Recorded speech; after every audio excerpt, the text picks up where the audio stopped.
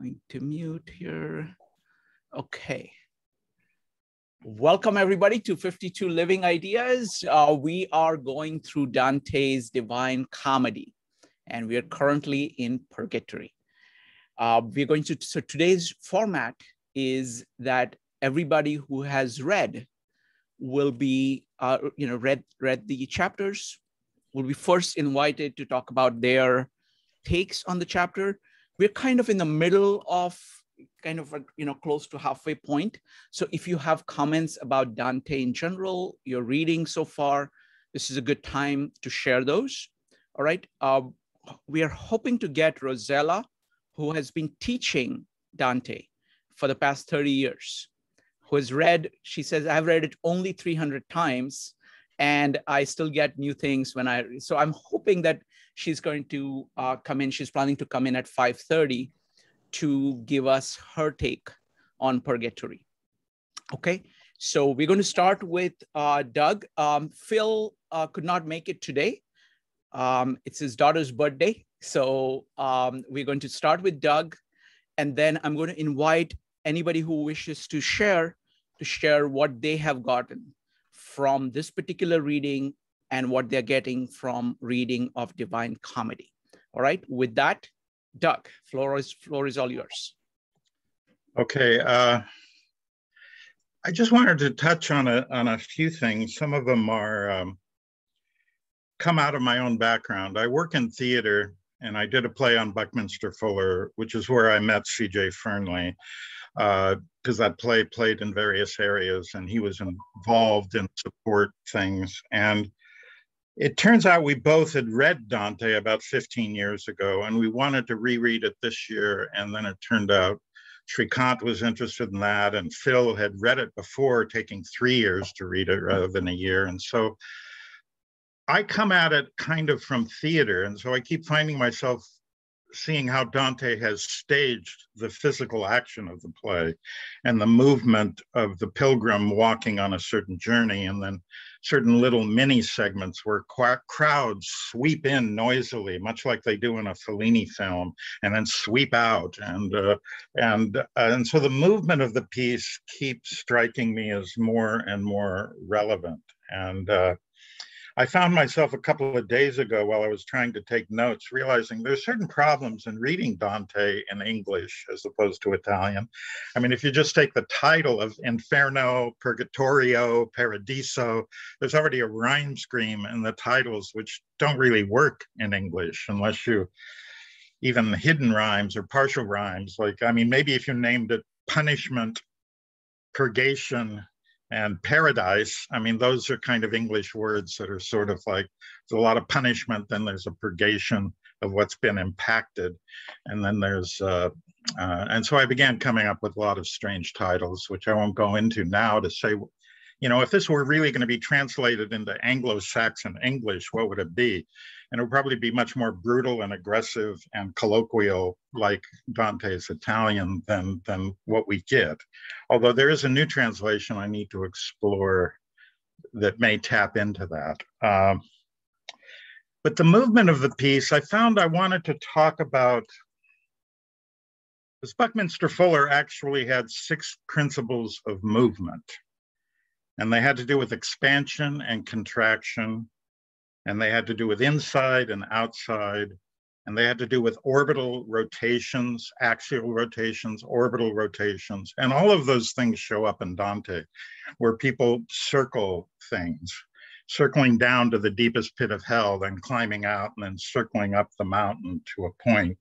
Uh, and all of this stuff but these go beyond Buckminster Fuller or Dante. Uh, Doug, ju just for reference for everybody, can you uh, list the six movements of uh, Bucky? Yeah, if they come at the top of my head, uh, they come in oppositions, kind of much like in Dante expansion, contraction, outside, inside, like taking a glove, a rubber glove that's a right hand glove, and you turn it inside out, it becomes a left hand glove. So there are oppositions. There's axial rotation, there's orbital rotation, like around something. And then if you go around something while you're on an axial rotation, he actually called that dance. You know, so if you're spinning like a top and circling another object of attraction, he called that dance.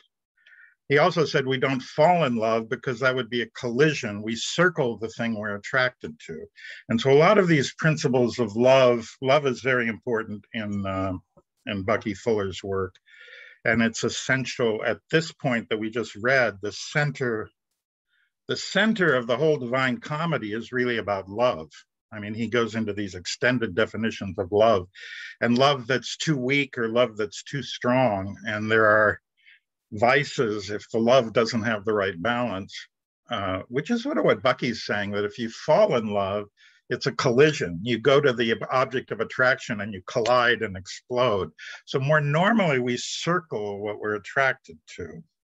And Dante certainly does that. Uh, he circles Dante and Beatrice for his whole life. And so there's also there's also torque you know, twisting, which I think some of the tortures here have that sort of torque element. Uh, there's also precession, which the way Bucky defines it, that, that, it's like a gyroscope. If you hit the top of a gyroscope, it goes to the right or the left. It doesn't go in the direction you hit it. So there's an unpredictable 90 degree angle effect. And Dante in the section we just read actually talks about the bee and the drive to make honey and Bucky said, Yeah, that's the intention. The bee is going for the nectar and he's making honey. But there's a precessional 90 degree angle effect that the bee is unaware of, that he's having another impact because the bee is also gathering pollen, which he's then taking to other flowers. So he's helping fertilize the whole process. But that's a 90 degree angle effect that the bee is unaware of. It's separate from its line of intention. So the vortexes of what people are intending to do and what they really do. And that's something that I think Dante plays with too. So those I think are the six principles, the rotations and orbits and uh, expansion, contraction. Thank you. Thank you. But I wanted to go into Michael Chekhov's work. Michael Chekhov is a very, in the theater world and in the dance world, actually, it's almost more important in the dance world than in the theater world was a Russian acting teacher who had to escape Russia. If he'd stayed in Russia, he probably would have been imprisoned or executed because he was very much a mystic. He had a nervous breakdown. He was one of Stanislavski's best acting students.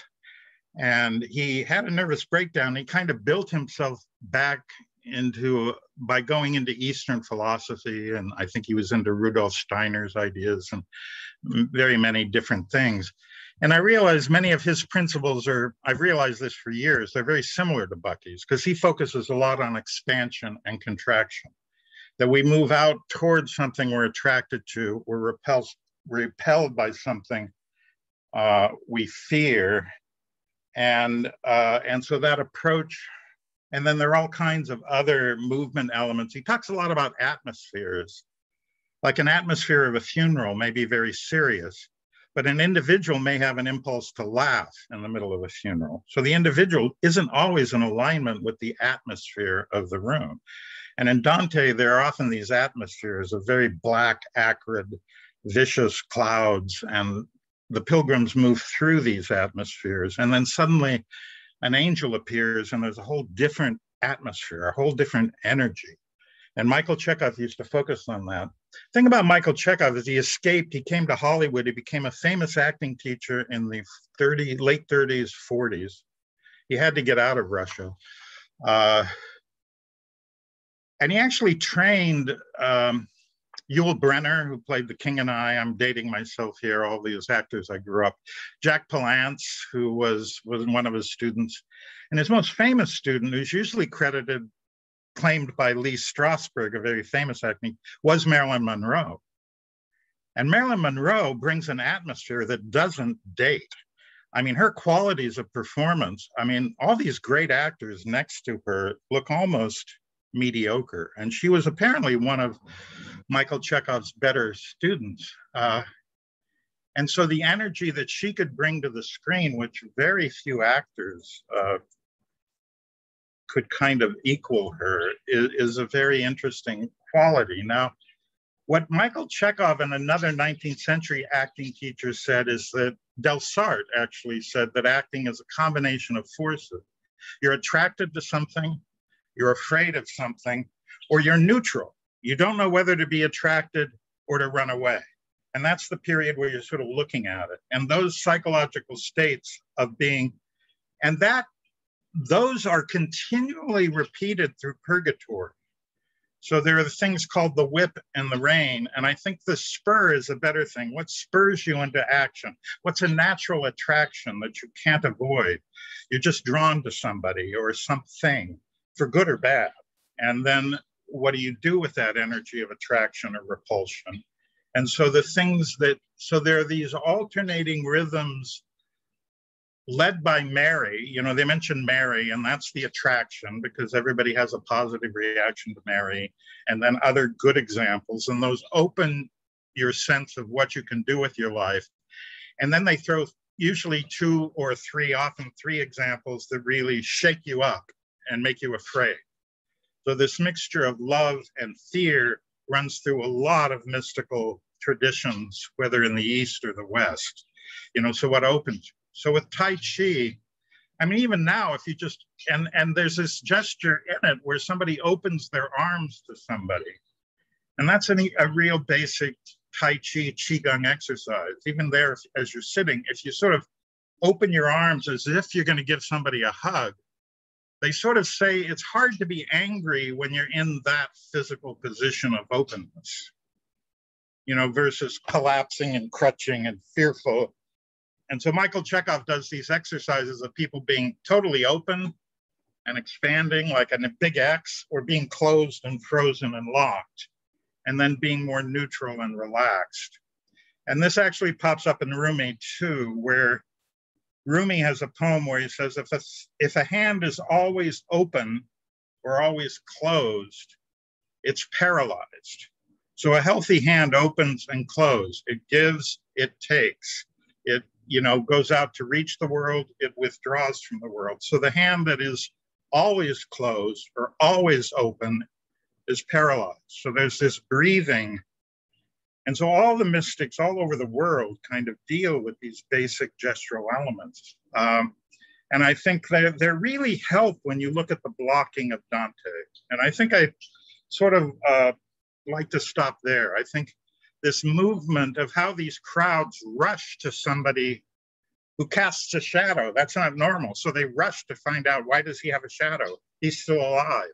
And then, or they may withdraw in fear and they don't want to talk.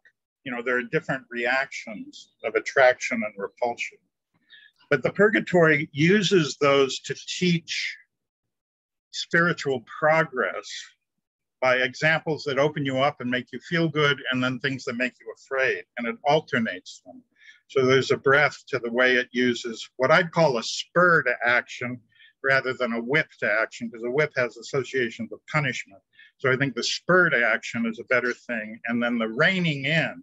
So whether you're sort of telling your horse to giddy up or whether you're saying, whoa, that's the other thing that I think is part of Dante. So I'll wrap it up there. I think that's enough to absorb. Wonderful. Uh, thank you. Thank you, Doug. I really like what you're doing, uh, you know, throughout this entire series, where you're kind of taking your experience of acting and theater and you're showing how Dante is carrying the same kind of things and you're giving a separate vocabulary like the movement vocabulary and mapping it on uh, to Dante. Wonderful. So folks, uh, if you have comments, go ahead and type exclamation mark. It's going to be Maxine, Ginny, Joe, Vanessa, Elena, and Allison next. Maxine, you can go ahead and talk about, you can respond to what um, Doug said, uh, any of you, or you can go ahead and talk about your own take on Purgatory or Dante in general. Maxine, go ahead.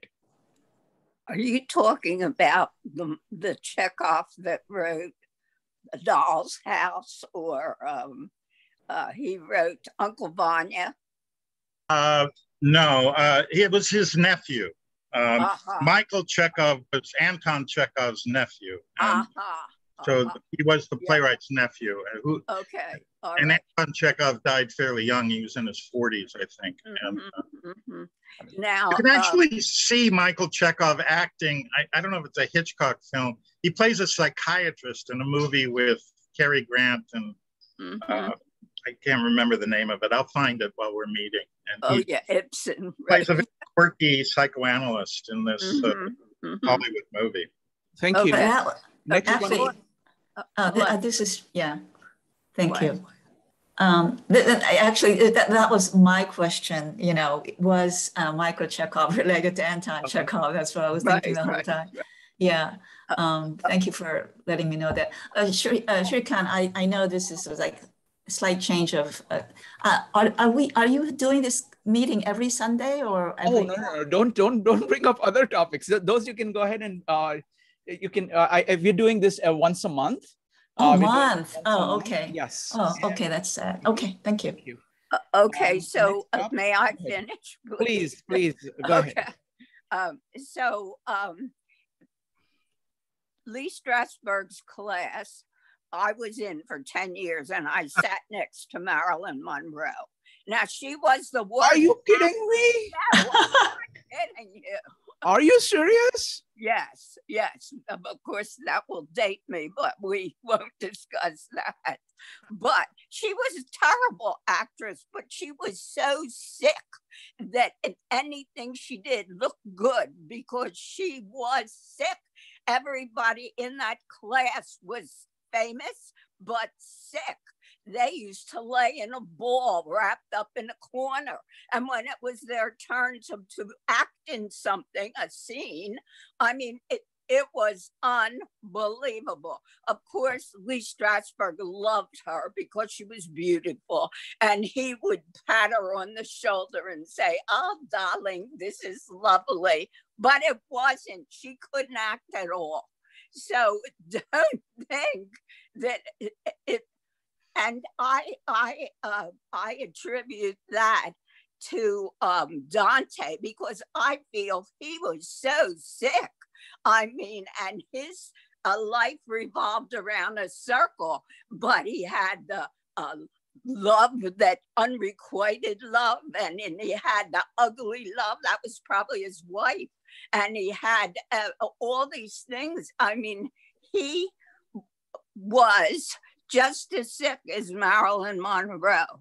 So I would say, I mean, even when she went to do a movie, they couldn't get her to the set because she was so depressed and introverted that you couldn't get her there. Well, I would like to know how did Dante die? Did he commit suicide? Or, I mean, how how did he die? It's uh, i mean and what he had children what happened to them how did they grow up i mean he it was a very interesting if you keep reading this work you will absolutely it reveals so much of his inner soul Thank you. Um, Doug, do you know how uh, Dante died? Uh, no, I, I- I don't. I All don't right, we'll, we'll, we'll, we'll get the answer to that for you. And it should be there on, on uh, our friend Google. Um, we will Yeah. we'll go ahead and look, look that up. Uh, next up is going to be uh, Joe, Vanessa, Elena, and Allison. Joe. Um, okay, so maybe just a, a little bit of context of maybe the distinction between uh, Inferno and Purgatory is probably a good idea. Just to just talk about that for a minute, and the directionality that even Doug was talking about is, you know, the different distinction is they keep going lower in hell, and they keep ascending in purgatory and you kind of get this feeling as you see uh, as you're when you're reading it that you're actually ascending with the character with dante himself and with virgil. The other idea the other thing was in in hell they're always turning left versus in purgatory they're always turning right. They're always ascending.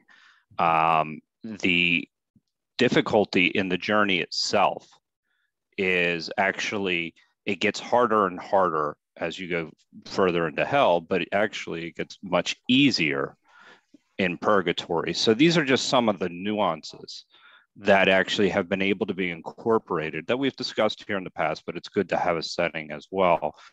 Um, when, when we're talking about Dante, as well as there's also the idea of time in purgatory that's very important. Um, in hell, time is frozen, everything is standing still, you're not going anywhere. Whereas time in purgatory is you're just being cleansed of your sins so you're gradually moving up and there's a there's a natural hope that is actually uh, that you start to feel with while reading this. Uh, there's also things like the most notable thing that i actually noticed is how just how intricate this is written based on the music. Um, uh, so you know the things like uh, blessed are the poor in spirit the Agnus Dei, they're actually lined with each terrace in the seven deadly sins. And you can see even roots of the Catholic Mass and how that aligns to the actual writing itself. The the most the most important thing that I had taken away from this past uh, um, uh, reading of these cantos uh, specifically had to do with how the cantos themselves are set up. Now, it's the seven deadly sins, we all know that, and how people are being purged of their sins. But specifically, the relationship between these things. So he has a conversation of uh, with uh, Sapia of Sophia, right? Or Saint Sienna, Sophia, Sienna. I'm sorry, and it, it's an it's a fascinating conversation because what you kind of see out of this is that she takes more pleasure in her enemy's pain than she does in her own personal success. And when you start to think about it, and this is and this is at the uh, uh, uh, the second terrorist, which is uh, it's uh, it's not pride. Uh, it goes from pride to goes to wrath after that goes from envy sorry um, forgive me. Um, so that this is an envy and what envy does is actually kind of creates it leads into wrath leads into anger. How and he sets that up very nicely how or can because you have a contempt for people as opposed to an appreciation for them. And this relationship is how you know you gradually you're going through these steps you can kind of see where these sins like where where they actually begin to tear us apart. But then something doug had talked about already was the idea of love within the context of that and how the absence of love in in in these kinds of uh, in these uh, terraces and what what's missing in your life is being able to appreciate everybody else. So one of the examples that was uh, was um, kind of given is that once you once you're incapable of uh, uh, or the Virgil gives is that specifically that your love for one of the things in heaven is that everybody's rejoicing when everybody else is doing well like the angels are happy and they're they're actually happy when you make it to the next level. They're wiping away a P each time. They're they're everybody's rejoicing because everybody else is doing well. Whereas in a fallen world in, the, in hell, uh, and with with uh, um, uh, with uh, uh, Sapia specifically, that and this is what stuck out to me, is that you have this element of um, of uh, you know that that there's this constant uh, I don't have enough where it, it, essentially everything is is about themselves and misdirected love which actually is the difference between a fallen world and a and uh, something like heaven. Um, i'm trying to really kind of uh, gather some of my notes here there's also an, a, a discussion based on free will in these cantos as well. That's kind of important too, uh, where there was a uh, in I think Canto 16 with Marco Lombardo, there's a discussion about how the city states are failing, and that these city states uh, are essentially, you know, the results of people's decisions, and that they have the choice whether to do things are right or wrong, and and that there's this failure of ethics that have that has continued to happen over a long period of time and then uh, I'm trying to summarize some of my, I didn't expect to even get talk this long. Um, but uh, I actually have a couple more comments, but uh, I'm gonna withhold them for now. Is that okay? Yeah, I have some other things. I just have to clarify. Sure. With sloth. Yeah, I'll come back to it. Thanks. Uh, next up is Vanessa, Elena, and Allison. Vanessa, what are you getting from your reading of uh, Purgatory? Well, first I gotta begin. Uh, thanks, Joe. I feel like the preschooler following the doctoral student giving his thesis. Um, now, full confession here. Uh, um, I hadn't read the beginning of Purgatory, so I read. I went back to um, Cantos nine kind of rather than just jumping all in. And as I was reading Cantos eleven, it kind of changed my focus and my center because as I'm reading it, I kept going back, like saying, "Wait, this sounds so much like the Lord's Prayer." You know, maybe a more uh, we have maybe a more modern reading of it. Um, but as I was reading, um, continuing on, like things uh, came to mind. I'll call them uh, apologies for those for this term. The best thing I could think of is Catholic brain farts. You know, like another thing they were talking about. You know, this uh, is there any meaning to the numbers and the direction? And uh, th- I think this may be in Cantos 12 when uh, before he entered. You know, when the the he he put the marks on his forehead and to show the divinity and just his uh, humility. Like he bowed down. He said he pounded on his chest three times. That made me think when you're making the sign of the cross, you go Father on the forehead, Son around the belly button, then Holy Spirit. It's three taps on the chest.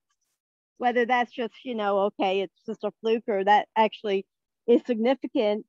Um, and also about the thing with the direction of the right, I just think um, I think of the Nicene Creed and um, uh, Lord Jesus seated at the right hand of the Father.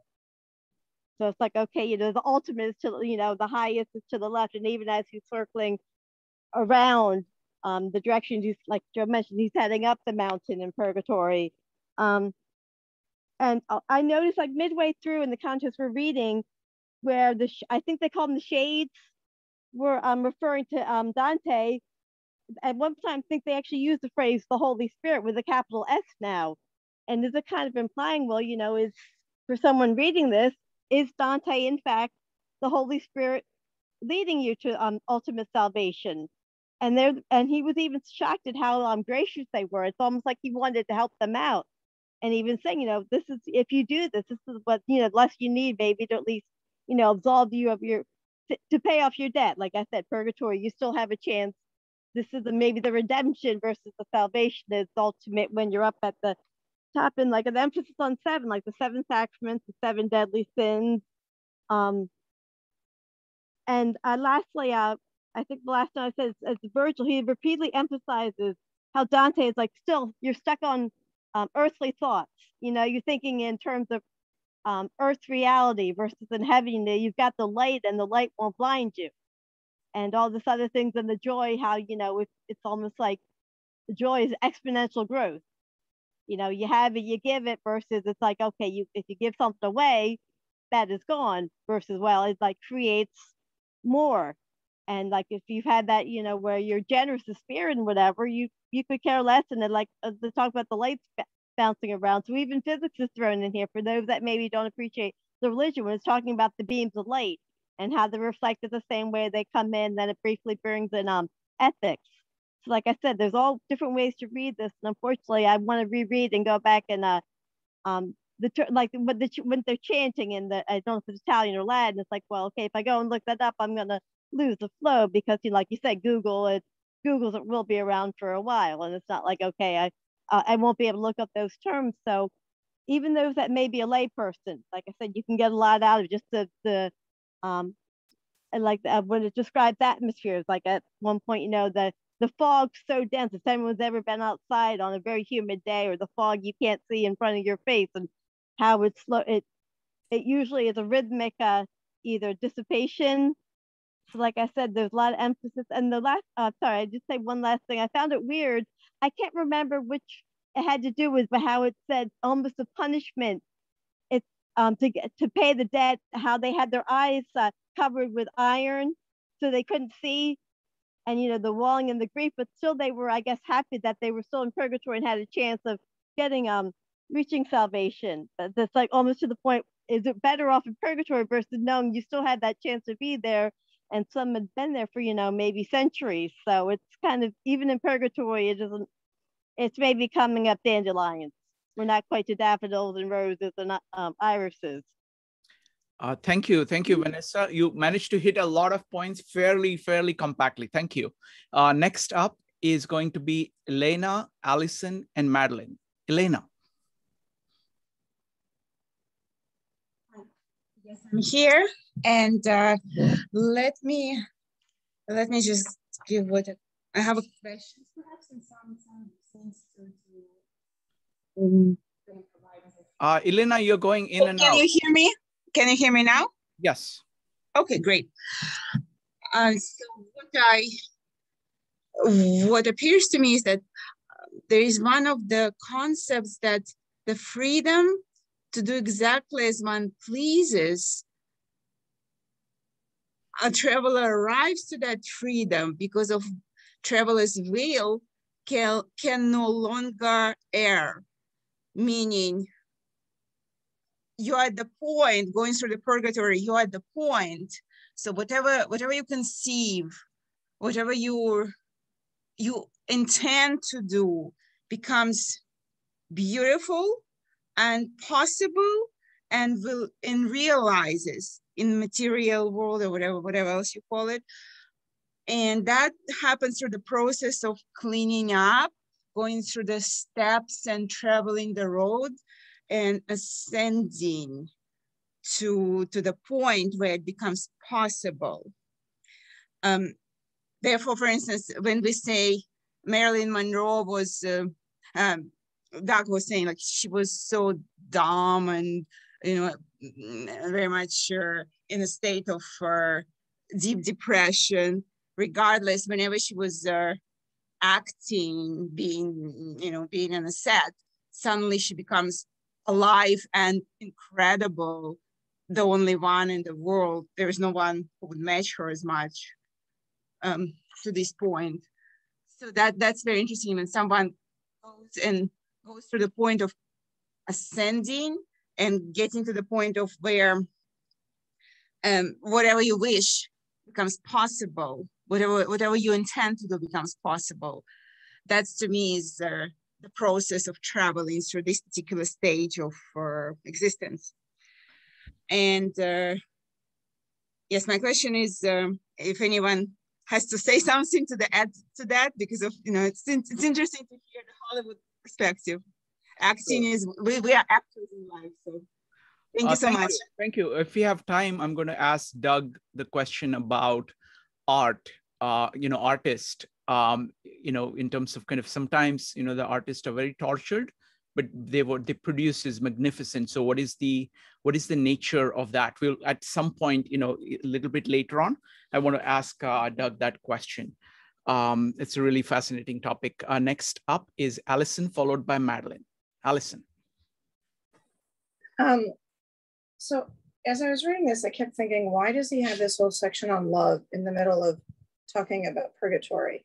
and I kept going back and forth until I finally, I think I figured it out. And um, so in Canto 13, he says, um, I did not seek my peace with God, not till my final hour came. And even then, penance would not have reduced my debt. Um, so he's, you know, he's talking about these people who, who suddenly, you know, find God just before they're going to die. And, and like, it's like, oh, I believe in you now. Please let me go to heaven. Okay. But then in, in the whole section on love, he's talking about like different kinds of love and he's talking at first about love that's really not not a good kind of love at all and he talks about um, people when they're they're trying to compete with their neighbors they're trying to one up people they're angry Um, and then he goes on and then he talks about a pure love. And so the way that I took that is that some love is really about trying to get something for yourself. And that's not really a pure love. That's like the person who is saying, Oh, I, I believe in God. I love God so I can get to heaven. Because really, what you want is something for yourself. It's not about a real true love for God. And the same thing with love. Like a gold digger. Okay. A gold digger is not about loving something. A gold digger is about trying to get something for themselves. Um, but when he goes on to the other one, where he says, All of you vaguely apprehend and crave a good which um, with which your heart may be at rest, and even so strives to reach that goal. Um, but then, oh wait, uh, where did it go? But just the whole thing. Oh, another good. Um, if you aspire to it or grasp at it with only lukewarm love, then on this ledge you will be punished once you have confessed. And that to me ties right back to the other thing. Um, so I think what he's saying is that um, the love for God has to be like the love for a person. It's not about what are you getting from this. It's about what are you giving. And it's it's it's very selfless. Um, and then once I made that connection, then it, it made sense with why this whole section is in here. Um, Ho hopefully, we'll get to talk about uh, you know love in Dante uh, throughout, uh, because yeah. that was the point that uh, Doug was also making that that is there. That's the theme that is there throughout. Uh, next up is going to be Madeline, David, and Peter. Madeline. Well, um, it seems that Dante was very, very into how things were arranged in space and time. And the Purgatorio is the central book of the three. And this is the central section of the Purgatorio. And so I'm wondering if uh, we're going to see later on through the rest of this book and then in the next one, if it's going to unfold symmetrically, like in a mirror kind of chiastic structure, uh, outward from the center. Uh, if anyone has read um, David Mitchell's Cloud Atlas, that's an example where it's made very overt. Uh, so I'm wondering if it's going to do that. And uh, I also liked uh, the points that people made, what Doug said about fear and love and the spur and the rein. Uh, there were there were a lot of hawk and horse training imagery in here um, and also, he, in this central section, he consistently emphasizes that there's a middle ground, that uh, prodigality is just as much of a uh, bad thing, I forget it's a vice or a sin, but anyway, as uh, avarice. And the middle ground is what he calls generosity. Um, I also wonder what it would have been like to have been writing this like what his and what made me think that was um, the part about I don't know if I'm pronouncing his name right, Statius, Statius. Um, at any rate, Virgil's uh, replacement, who is being eased into things, and the translation that I have, the the glosses in the back talked about. Well, everyone's looked into it, and is there a, um, you know, what could he really have been a Christian? Blah blah. And I thought, you know, it really doesn't matter. Dante, as a writer, needed someone to take over from Virgil uh, because Virgil wasn't a Christian. So this character came to him and said, Okay, how about me? I lived in the right era. I could have been a Christian and maybe I was just hiding it. So there are some things that are like that that seem like they must have just come to him. But how he could have seen the whole thing unfolding as a pattern. Like, did he? He must have sketched, sketched the whole thing out in advance. Um, but how he could have seen the whole pattern and gone weaving and stitching back and forth from beginning to end in the three books and looking at how they balanced out. It's just, it's fascinating to think of what it must have been like for him to be doing this. Uh, thank you, Madeline. I mean, that's an interesting question. I mean, if you look at kind of the structures of various works of art, they differ quite a bit. Uh, it's not a universal, there's a whole bunch of ways in which people can structure things like Beethoven's structure is different than Mozart's structure, for example. um, and Vivaldi's structure is something else. Uh, so I, I, I personally don't know enough about this. So, but uh, you know, anytime, uh, what we're going to do is that we're going to have everybody commenting first. Then we are going to go into breakout rooms to discuss it in small groups, and then we're going to come back with the best questions that we have on this, and then we're going to try to answer all the questions together. Okay, so that's the format. Next up is going to be David followed by Peter. David. Hi, yeah, I'm glad to join you. I'm sorry I had to miss the very beginning. And your question seems like the moment it's fairly comprehensive on the whole section we read, maybe, right? Yes. Okay, so I want to stray off. The you're also, uh, David, you're also welcome to, we're kind of in the middle of the book. You're welcome to talk about Dante in general or your experience of reading Divine Comedy in, in particular. So floor is yours. It's interesting, as Madeline said, we're sort of on the bridge in the middle of the middle. So it's a fascinating point to look at the whole structure as far as we've gotten, imagine where it's going and what he's foreshadowed. Um, and he seems to be unraveling all kinds of problems and issues that you know would seem impossible to put together into one quilt. But then again, this kind of writing, sewing everything together, I guess that's like Boccaccio and Cervantes. I, you know, it's a little later, but uh, so it's interesting. He's if he's going to pack everything into the encyclopedia. So we've gone through the worst of the worst, and then even the people who struggled, you know, with things and and just overstepped bounds to a degree. Uh, you know, looking at material wealth going too far, and and whereas comparing that to spiritual wealth. So we're beginning to make these really fine distinctions about how could you cross that line? Well, you wanted too much power. Power is a good thing. So we're now looking at balances that are a lot more subtle. And you can open these questions, and he's, he's having Virgil uh, as maybe his internal reason or as the voice of universal reason for us all. It doesn't really make a difference. The story's unfolding with Virgil helping us understand. Um, but he says such interesting things here. He's talking about uh, specifically mankind seeing the source of everything, good and evil, as all coming from heaven. Oh, good and evil coming, and, and everything we do is like it's all heaven's fault. Well, that you know, and if we're all, if it's all determined and charged, then there's no point to morality. There's not, you can't make sense of a morality like that. And he says, so I'm going to explain that. How's going to explain that? This is like the fundamental conundrum. Uh, and we still talk about this, and he's talking about it then. So somehow he wants to reveal how love can be in charge of everything, and yet we can be doing such a bad job at points with all that love. He says the light of reason still tells right from wrong. Okay, but all love is eh, the fault's going to be in ourselves, he says. It's always going to be fault in ourselves. We need restraint by law. Okay, so reason's going to reel us in by law, but all the actions we take are going to be directed by love.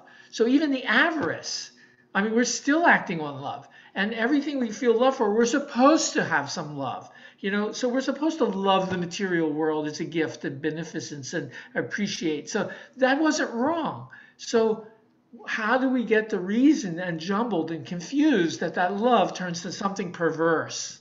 because we have love for all the things that can be wrong to be loving if it goes too far. So, you know, how do we not fall to error and let these same these blessing of love turn into a sinful uh, uh, rise for a sinful pleasure? It's sort of uh, for him to deal with that and then to bring it. So by the time we're in Canto 18, I think that's the critical one for me in his putting into a, a logical form an explanation of how free will is there for us to balance. And the answer lies, he says, in face mysteries, but he's not giving up. You know, he still works out that technically we we have freedom. And how does that perception work? It begins with senses. And he does this analysis from senses to perception to understanding, building levels of what it is we experience in our consciousness. We get more subtle and and that somehow love will be the spiritual motion of it all and reason is what's going to break the power of love when it has to, because reason we always have to exercise with all those desires. It's desires and reason. It's that balance. So um, I, I just have never seen it so beautifully laid out. I mean, I'd like to point to sections of it, but uh, he says by the the point he's tying it up that these noble powers Beatrice will comprehend as the free will. So remember that when you go up there, she's going to tell you how it all works out, that you have free will to balance reason against all the passions, which you're supposed to have anyway. So uh, I'm looking forward to the answers. Wonderful. Uh, thank you. And what, what we'll do is I will raise these questions because these are, you know, the, the, especially the question about love and when it becomes uh, kind of perverse and when it kind of con- when they conflict with each other uh, all, all of that i think i'm looking forward to discussing that in the lightning round. Uh, wonderful. Uh, next up is peter. I personally think that one of the greatest difficulties as english speakers in reflections on dante's work is that how we use the english word love. And to me, a lot of what it kind of evokes, uh, despite you know all the different contexts in which you use it, is in my mind far more simplistic than where Dante is coming from. You know, from where the ancient Greeks of the range from agape, the philia, to of uh, the erotic. And to me, in so many ways, as he points out over and over and over again, in my opinion, one of the most fruitful and most difficult, I would say, reflections on his work is seeing all of these levels of dimensions of the expression of love. From, you know, what whether for more harmonious or more perverted, but really looking at it viscerally within our own very soul, as he looked within his, his interpretation or inspiration to reflect on all the different ways the natural fundamental motivation for connection how, the different ways it can come out and what leads to more um, mm, the path toward let's say of a uh, satisfaction or harmony or rest or of uh, beauty or truth. And the ways in which he in the middle of his life at least within his fictionalized version of himself went about exploring about it i mean for first was well to really realize of um, you know as virgil said that the way up was down every time he tried to purify his spirit, to take that fundamental libido and to direct it more towards nobler things, the gravitational pull just kept skewing it all to all these basic base levels that we all face with. And so when it came down to that shedding light and gaining that self-knowledge in relationship to all of these, not just an intellectual understanding, but a willingness to face the harsher realities before we can through our own type of internal purgatory if we take that metaphor in regards to you know within life how we have the uh, the tools to self-correct. So it's not just a matter of um, the strength of will to maintain a domination of the fundamental passions but no but how do we increase the quality of them how do we take the, uh, the, the baser instincts and passions so that they work more towards the beauty and nobler aims of which we aspire? How can we get more in communion with the different sides to ourselves so that they work with each other rather than against? And to me, I, I find that all of these many different ideas about oh, what is love, you know, what is it? Does it mean in regards to of um, how we relate our own personal experiences of what love is and what Dante is talking about in each of these realms that he visits, both of what he sees of other people and what he personally experiences within it. How can we empathize with all the characters involved of their manifesting what they are because of some aspect of love? based on how however twisted it is it's still fundamental in regards to what is the ultimate of god's creation at least you know within his perspective. So how seeing it in that sort of um, divine uh, uh, c- conduit of what is manifestation, what is of uh, creation, and how through his purification and purgatory to figure out what does it mean to humanize the parts of himself that he rejected so that they become more the vices turn themselves into virtues that we all you know want love and connection we all want to connect with ourselves i mean I'm sorry, I'm a bit rambling here at this point. Um, I, to get back to my point, I, I do definitely think that just, I don't mean to oversimplify to Freud's libido, but with his model, um, we're going basic to the, the erotic. How do we take fundamental lust, that mag, anim, animal magnetism to connect? And so that can we take those fundamental passions and through wisdom figure out how to mature them as we ascend up towards of uh, tempering them into the higher forms of mm, more, more I guess, of uh, harmonious and whole manifestations. I feel that so much of what, after he was able to face, in my opinion, uh, through Inferno, uh, being able to face the fundamental beast of the essence of his soul or humanity, as we all have, the ability to of um, work with these energies so that his mind was not disassociated from them.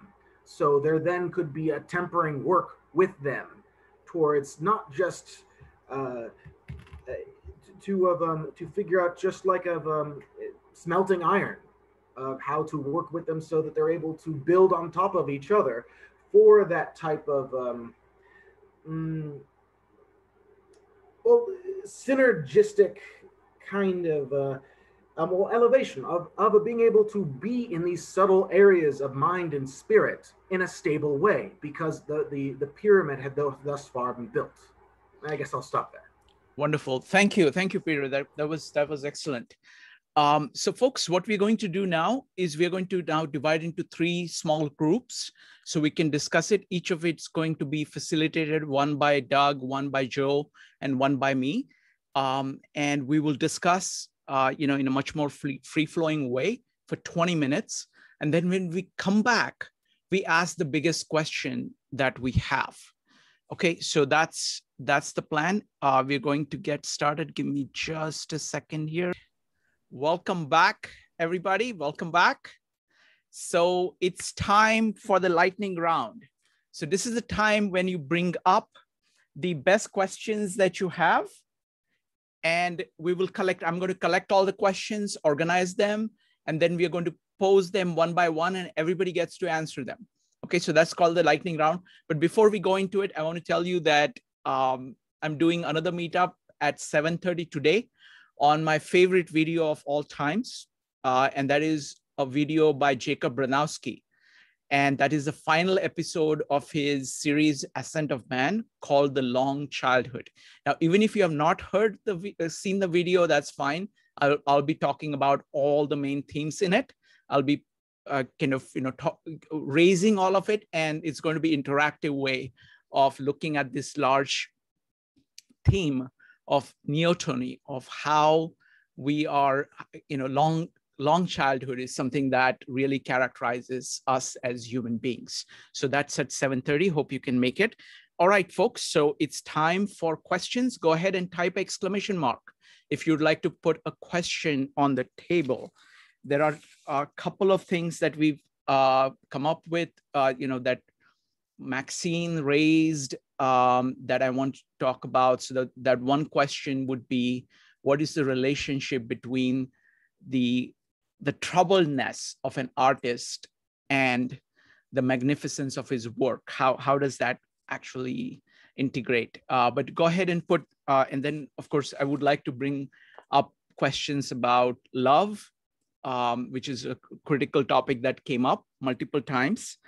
Um, but go ahead and type exclamation mark if you have, if you'd like to put your own questions on the table so we can uh, hear everybody's answers to it. Elena, what's your question?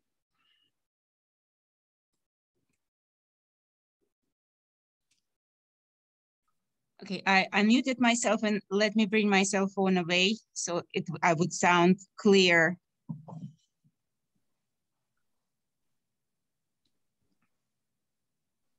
Okay, uh, Joe, go ahead. Here uh, I am. Joe, uh, okay. Uh, here I am. I'm, I'm asking a question. Um, and just so what, uh, obviously, if you're going through the steps and the levels of purgatory, um, how to, so you're supposed to, you know, this, this, this, uh, quote unquote scenes, you feel it and you experience it. And then um, I, from what I've seen here, you have to experience the and learn how to experience the opposite. So say you have you have a last to to have something in your life, such as you want to, let's see, whatever Tesla, um, and then the opposite of it. Oh, I'm happy with uh, whatever Lexus 1998. Uh, just just physical example, right? And the same thing with other feelings and attachments and and such. So whoever has, you know, just give me a reflection of what they think about experiencing the opposite. Thank you. Okay, experiencing the opposite. Okay. Uh, next up is going to be Joe, Vanessa, Maxine, and Madeline. Joe, what's your question? Um, I would like to know what people's thoughts are on the relationship between pride, envy, and wrath specifically. Uh, pride and wrath? Pride, envy, and Envy wrath. and wrath. Okay, very yeah, good. specifically. I know that they're all interrelated, but those three in particular seem to really build on one another. Excellent. Thank you. Uh, next up is going to be Vanessa. Vanessa, what's your question? Okay, this may sound like an odd question, but I was reading the one thing was talking about how it's impossible for ma- for man for self hatred. Now, how does he allow for like mental illnesses? Because there are some mental illnesses out there, or just whatever you want to say, where one maybe is incapable, Got it. you know, truly does want to harm themselves. If, if not in this work, does he deal with it in other works or address it? Okay, thank you. Uh, how does Dante allow for mental illnesses? Uh, next up is going to be Maxine, followed by Madeline. Maxine, what's your question? I I don't really have a question except that all uh, the artists, if you have No, no, no. We'll do questions. Uh, We're just doing questions now. We'll get to talk about artists soon when we raise the question. oh okay Okay, all right thanks. well then Uh, next, next up is Madeline. Yes, uh, my question is for Doug. Uh, if he could, or anyone really, um, I would just like to hear more about specific instances of motion uh, in this central section of cantos. Wonderful. Emotions in, um, Yeah, specific, you know, where where things really stand out. got it. Okay. All right. Anybody else wants to put, put any question on the table? c- could you tie it to the church? Uh, the, the motion to church, No, tie purgatory. purgatory to church. Okay. Very good. Uh, okay. Purgatory and church. Okay. All right. Um, let's see. Doug has a question. Doug, go ahead. Uh, you're on mute.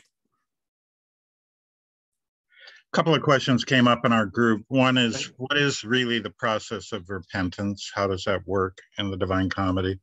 And the issues of time travel, how does Dante work with that, learn about that, explore that? Um, and uh, there was a question from B, they, uh, uh, love and envy, the coupling of love and envy. I mean, she was fascinated by that, which we didn't really explore too much, but that's, an, and she may want to clarify the question. Uh, and then there were, but that coupling of love and envy was interesting.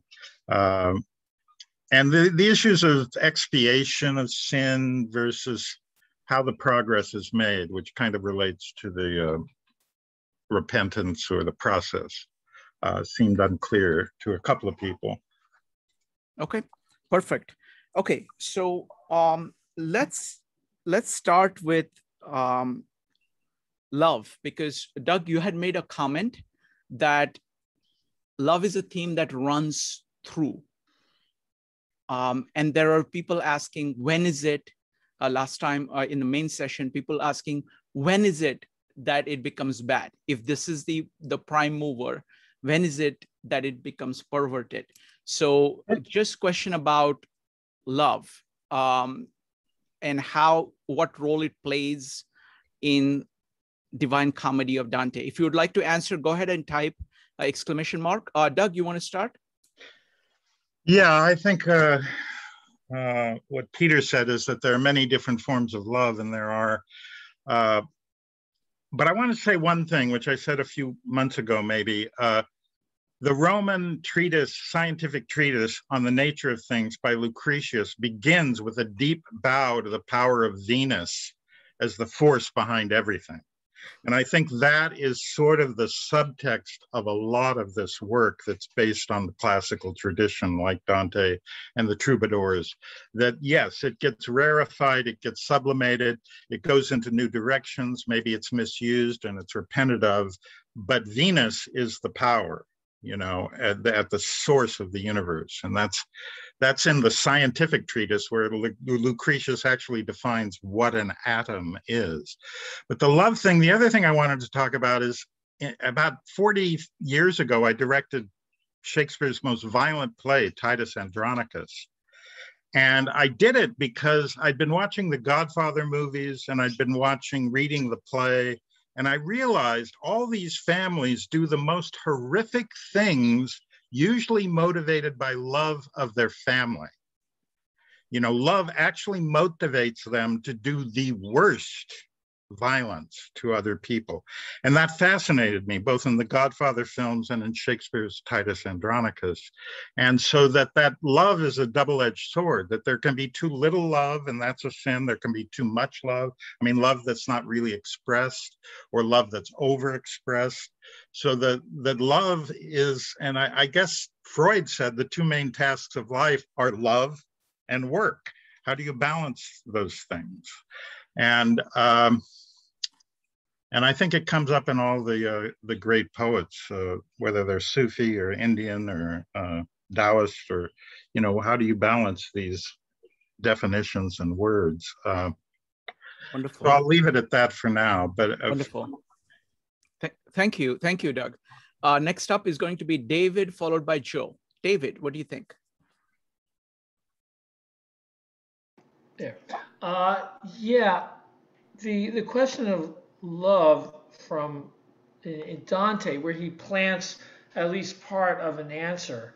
Um, he is, I think, in Canto 17, uh, around line 90. Uh, neither creature, neither creator nor creatures move, but through love. Um, I'm shortening it. Natural love may never fall into error. Uh, but you can strive to bad ends, and you know, too little or too much. We know that's the problem. So while desiring the eternal good, you know you're okay, but you have to measure. So there's something where you're going to have love. This is pure and overwhelming, maybe, but you also have an ability to measure and gauge. So I guess that's reason, because that's where he's giving us the a control lever you know that we can't not have love for everything even the things we shouldn't and you know maybe we're not giving enough love to something but something in us lets us do the gauging. That, that so I, if you go on reading then we'll go into joe's question which we'll do next. Uh, joe what do you think about this question of love in dante David just literally just took my answer. It's re, it, the interesting thing about this is that it caught, and Doug, you know, you kind of reminded me of this is this idea of how love is motivated for family, but it often can act as it can compromise our re, ability to reason, and so that it's a perversion of it, our our our free will, because we can make if we have our free will. That's this is Dante's whole argument that you know we're we're making decisions within our uh, within our own uh, faculties that are based on ethics. But then love comes in whether it be a love it could be love for anything at this point and it's perverted and it causes us our rational faculty. And then all of a sudden now we're we're we're out of balance and we can end up in purgatory and for the for the if we're lucky um, but in this particular instance but it it's it's the inability it's this uh, um, and i guess that's like where you can start to think of love and nature being very important the link between love and nature to be very important because if you love uh, according to nature that is what god's giving you then if if you have a belief in this higher power well then you can uh, then you're loving in accordance to a balance, a certain balance that is actually that we're again we arrive to through reason. But anyway, that was kind of a long way of saying that it can pervert our reason Wonderful. and our Thank you. and our free will, which is really important. Uh, thank you, Joe. Uh, next up is uh, Allison.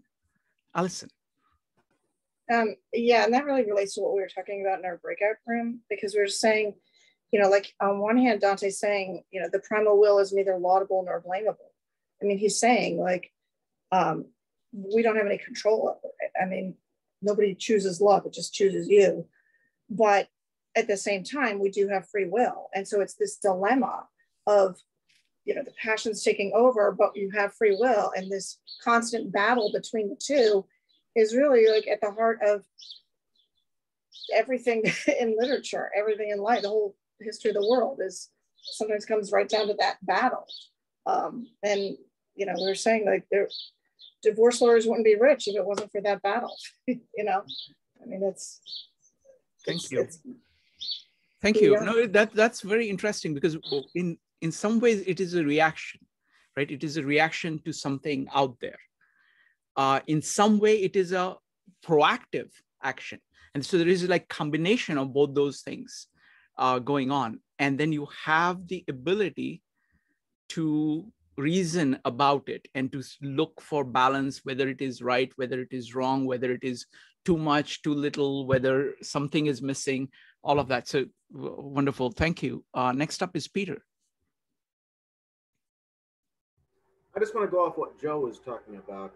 Uh, I definitely, in regards to treating love as a passion that warps our ability to reason, I feel that Dante's message, in my opinion, is clear in relationship to his experience with Limbo and Virgil, of the uh, of them being the virtuous pagans, that they live in peace, but they are absent in love. And Virgil, in describing of Limbo uh, in uh, Purgatory, was that it is not filled with the groans and moans of the suffering, but the sighs of the discontent. That they're, they are, are so elevated and so detached from any sense of a soul, and that is why Virgil's so much just a disembodied intellect, a ghost uh, someone who of uh, envies uh, and well, um, envy might not be the right word, but uh, perhaps lament that it, the doors of heaven is, are closed before, as being a shadow, as being in the sort of eternal space without change or growth. That these souls, you know, however brilliant, are trapped in an unfeeling space from the essence of you know to the to those below them that would be tortured by their own character where these are, are not are numb Wonderful. Thank you. Thank you, Peter.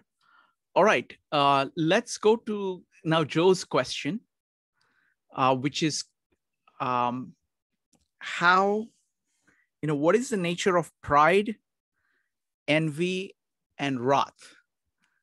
And how, how do you distinguish uh, between them? And then perhaps how do you connect it to love uh, and its perversions that we're talking about? David, followed by Peter. Right. This is what I was saying that that I, I think this follows right after the section I was reading about how you balance. Then he says, but it can fall out of balance, and he says there are three ways the mortal clay can fall out of balance. Um, one is about hoping to advance, the other is about another's rise, and the third is about vengeance. So these three things, and he's going to discuss them each separately. So let's break them apart. Pride is, they're all based on too much love of approval, too much of love of worldliness, and needing the world to affirm you. And seeing that as what affirmation, as opposed to the connection that's the pure love connection. So when it's connected to things like that, it becomes one's own grasping. And that is the first mistake. If you're a grasping, overly grasping, then your material world success is pride because it's a confusion of what you're doing with greatness. And you know as though that's the love you need is the world you know to shower you with things. The second thing is when someone else has worldly success and you look at their gaining things and you mix that your love is about the things and they're getting the things then your the other's gain is something that you are unhappy with. This is your envy. This is the envy is a misdirected love towards things because other people get things because they do it what they love. The third is seeing it all incorrectly as a zero sum balance that what i don't get because somebody else gets what they get is you know that their gain is my loss then you have anger at the other person as revenge. So all these are about having put the love and too much love on the worldly and the the love of approval of others and things like that that aren't at all what I mean I guess some of that has to be good because the soul is given that kind of love but when it's too much it's oppressive and I just want to say that I know I've already gone along we're talking about high powers higher powers this is a fascinating discussion. You really can't do that in many meetups. So this is fantastic, Shrikant. And I think this also, this book is, is a Mozartian structure of art because if he wants to talk about something, he pre-shadows it and then he summarizes it as a structure and then he plays out the structure and you know here come the three pride envy and you know it's going to all play out. So you know the form as you're experiencing the form. It's very premeditated and he has to explain everything so it's all broken down. You have the total balance. Very mozartian wonderful. David that was that was excellent the the description of uh, pride envy and uh, thank you. Next up is peter joe and mike. Peter. To me, I feel like this idea of all those who are in the inferno are so stuck in regards to their idea of self and so divorced from their own souls.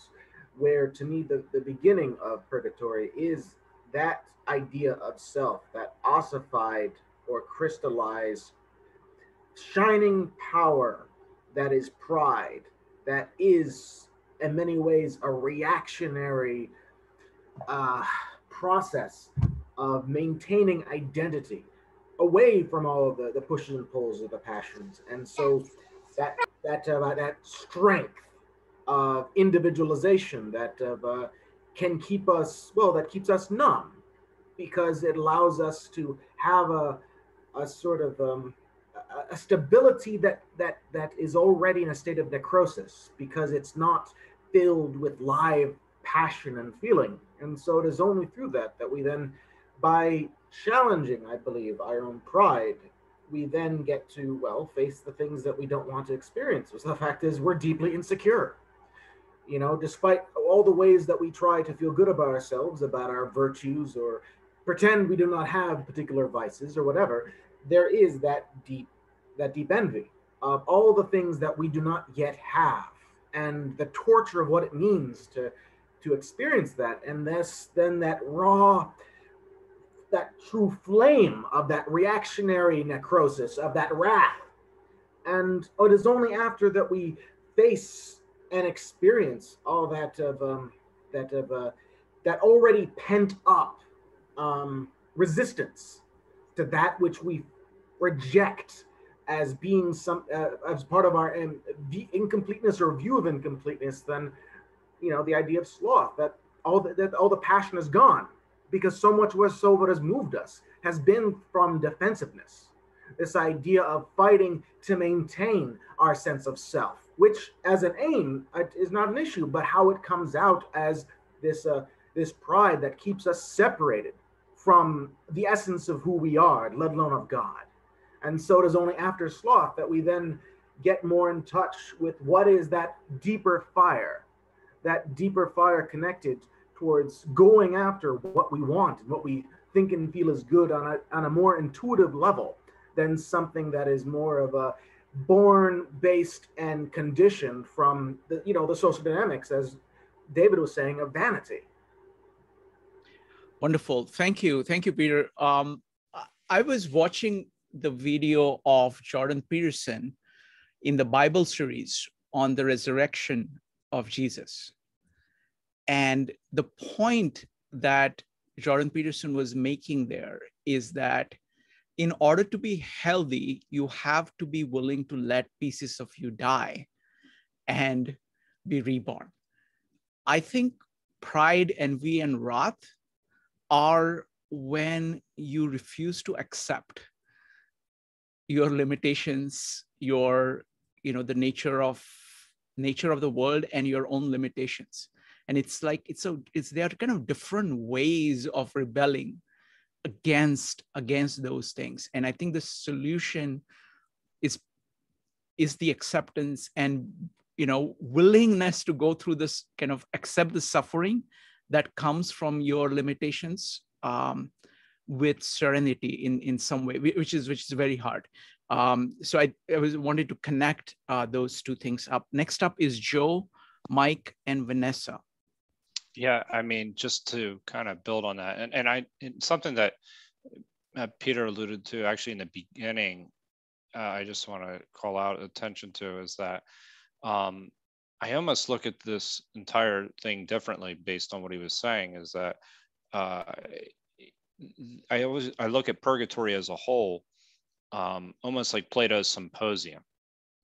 Now, where they go through each area, what is love, and they everybody gives a speech as to what it is, and this is actually what the absence is of love or the perversion of love and an explanation of what it looks like and in, in a story format. And it's a really interesting way of kind of writing this. It's I, I really thought that that, but the it was a couple of comments that he had made. But something that coming back to just to build on what you just said, uh, you know, and I look at it as in uh, terms stoic terms, where if there's acceptance, you know, there's and if you don't accept where you are, you're not going to be content. So that that discontentment has a way of manifesting itself in other ways. So I'm not I'm not accepting where I am in life.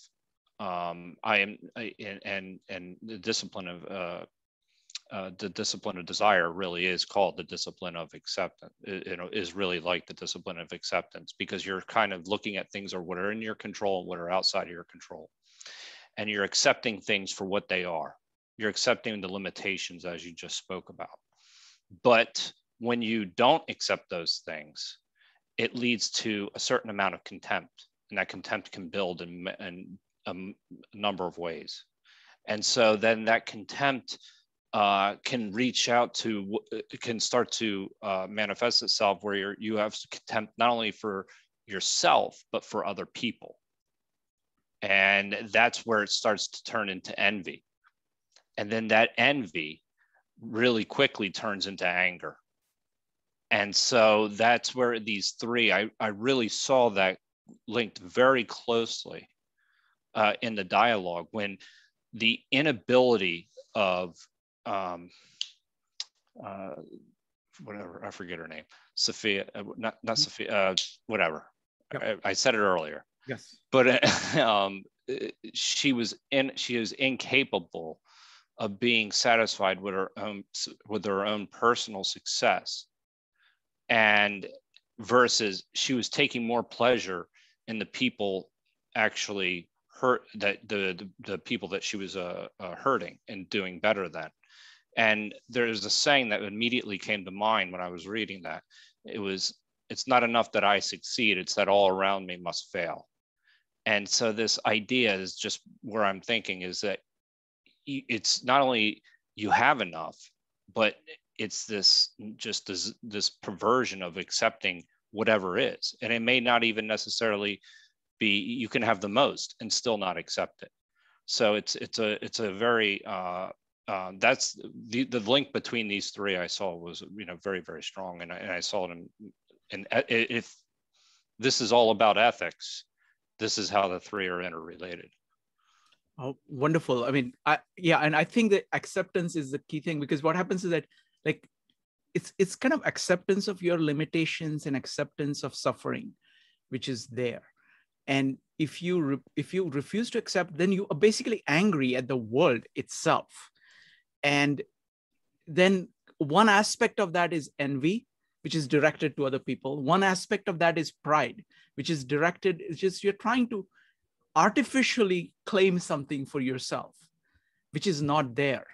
And then you, you know, kind of so so I think the the acceptance is is a crucial thing and it's not i mean the kind of acceptance that jordan peterson talks about no. it's not it's not a passive acceptance okay it is not one that leads to sloth or you know kind of inaction it is actually kind of letting piece of you die. And so it is it is quite hard. It is literally saying that okay i'm prepared to let go of things that i once valued because i don't see them as being part of nature. Go ahead joe. Can i just uh, make a very quick comment? Because there's a really important distinction between what even you know what modern philosophers or, uh, or jordan peterson and has you know has said in the past specific to this uh, area is that um, we and this he looks at, at, at suffering as random right? This is suffering of god's will right? You're not accepting god's will. Mm-hmm. And there's a that's a really big distinction between these modern philosophers and this idea of whatever suffering is can turn into resentment very quickly and turns into anger and it's discontentment mm-hmm. so um but this is also an affront to god in this particular instance whereas you know modern psychologists will often look at it as like okay the universe is not working against you random things bad things happen to people it happened to you once you take the step outside of that and accept that then you can start to take your suffering and turn it into actually acceptance and, and, and move forward. But in this particular case, they're saying God gave you this cross. If you don't accept it, then you're rebelling against it. Mm-hmm. And that, but it's both arriving at the same place. Yes. You're arriving at anger.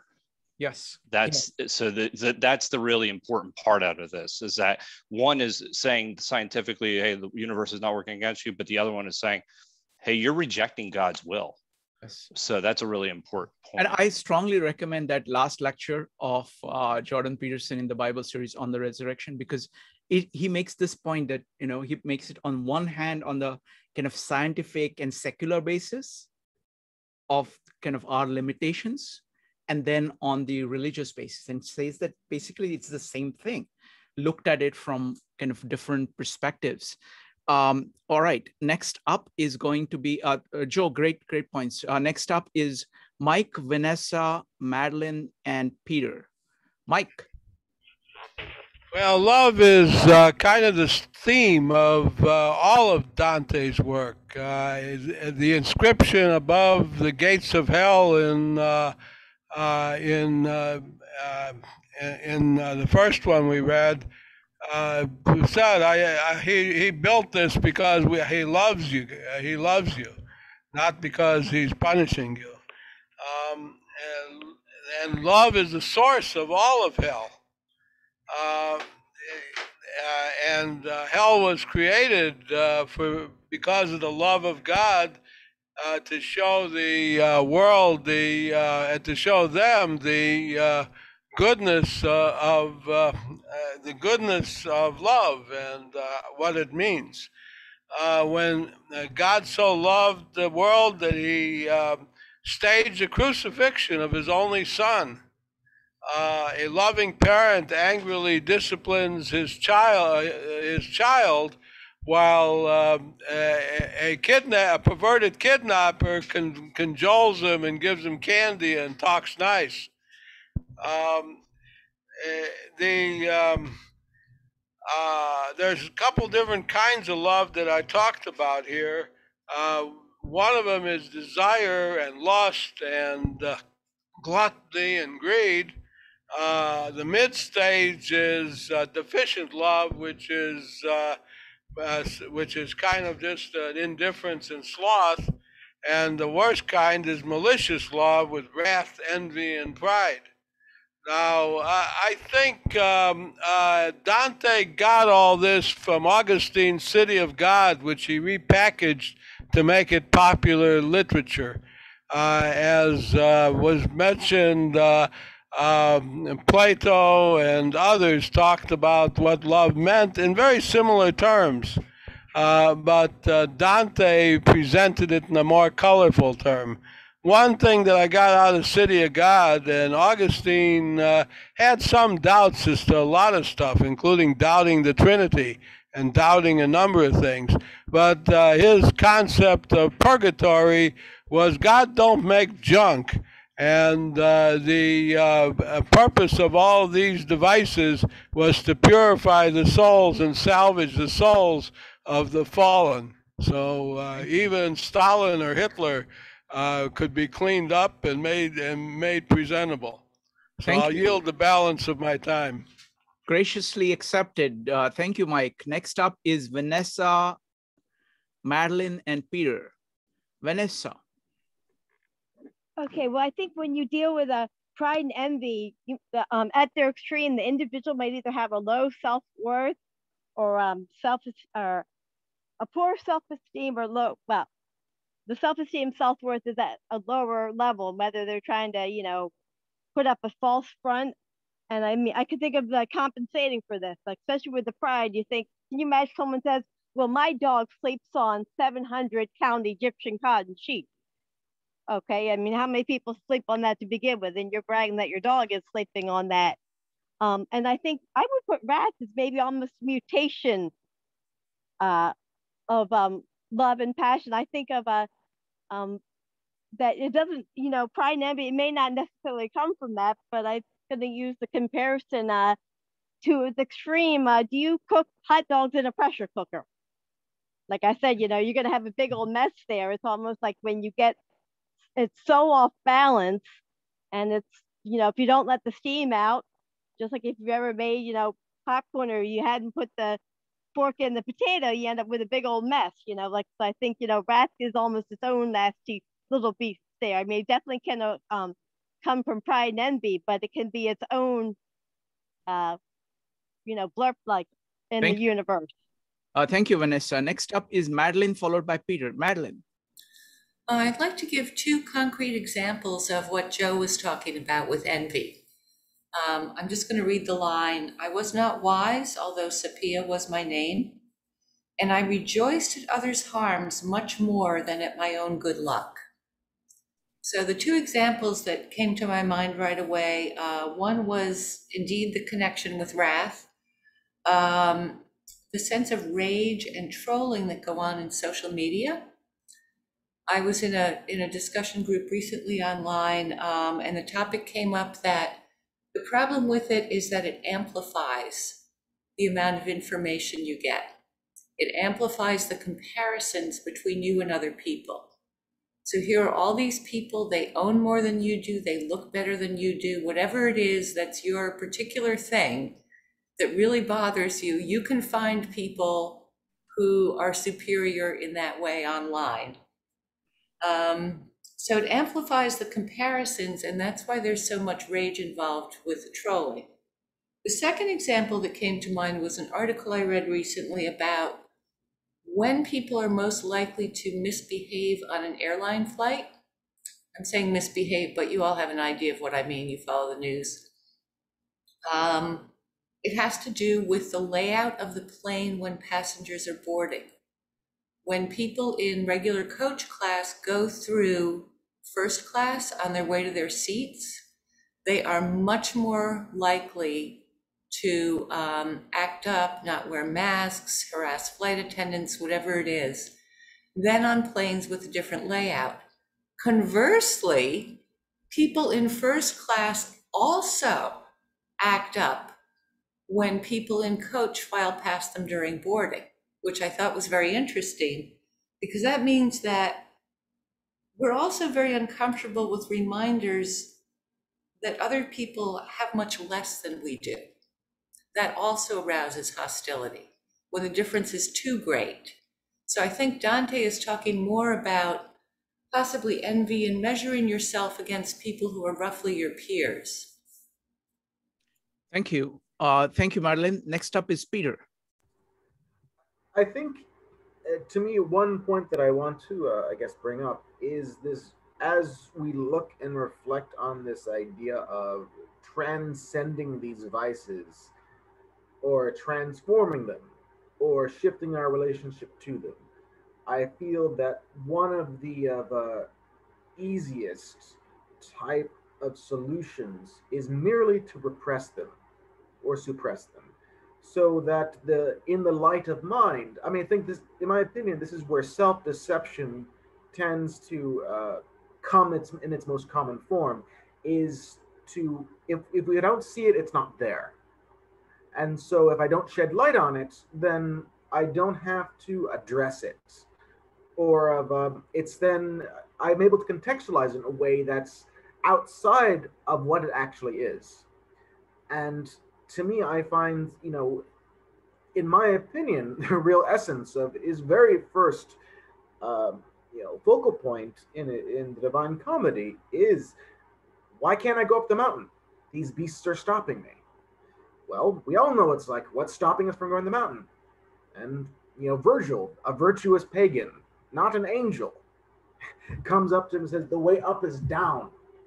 And to me that to me is in my opinion one of the most of um, inspirational underlying aspects of it, of what it means to you know do our own underground journey uh, our descent into our own subconscious so that we can shed light on it. Instead of constantly trying through will to to rise above it when we keep on just falling down and falling down. Instead of being able to have that sort of divine acceptance of that you know so long as i reject my hatred I'm going to secretly reject other people's hatred, you know, or openly. To me, there is that type of double standard that I feel that we always are trying to twist our way around in regards to whether it means to love ourselves and hate other people or to love other people and hate ourselves. In my opinion, eh, to end on that, I, I do think that the love thy neighbor as thyself is to me less a solution, more just a fundamental truth that because we all in this context are sons of gods or part of humanity that how we treat ourselves and how we treat other people are so deeply intimately linked to the very core. So relating how we are able to witness and relate to our own issues within is to me in my opinion uh, part of what dante's journey even before he got to purgatory wonderful wonderful point. Uh, and that's that's that's great. I mean it's basically it's your reaction to you and your reaction to other are actually very similar. It's not you versus others but either you love everything and love yourself or you're afraid of everything and you're afraid of yourself. And if you're if you love then you are you want to look. If you are afraid then you want to avert when whenever it is there whether it is from out, about outside or or inside uh, thank you um, last question which is the heart of purgatory itself. What is the nature of repentance, expiation, and um, you know how does the church approach it if you want? But just what is the nature of repentance and expiation? So go ahead and type exclamation mark if you'd like to answer that question.